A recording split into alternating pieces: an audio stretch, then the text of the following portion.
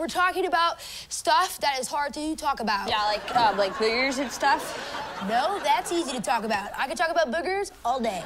Did you see Cheryl Lackitch in science class? Oh, yeah, it was awesome. She accidentally sneezed out a booger and it landed on the fire thingy on the science table. Yeah, it's Bunsen burner.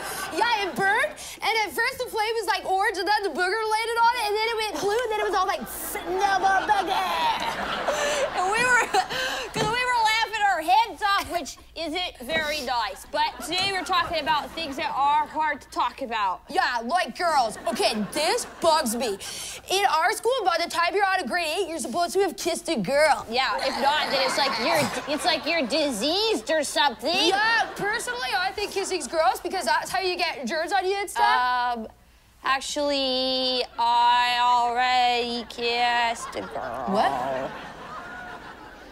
Yeah, it was by accident though, so but that cow or like sub girl fell on your lips? no.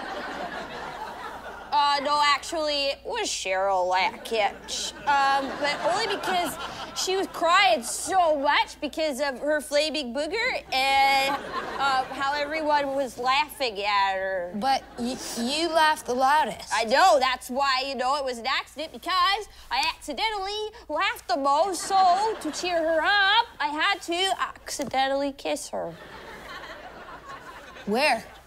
in the hallway. No, I mean like on the cheeks or what? Oh, um, it was toward the lips, but mostly just the top lip because I missed.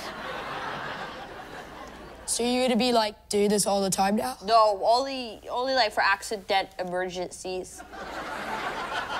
Okay, bye. Bye, bye everybody. Bye, Cheryl.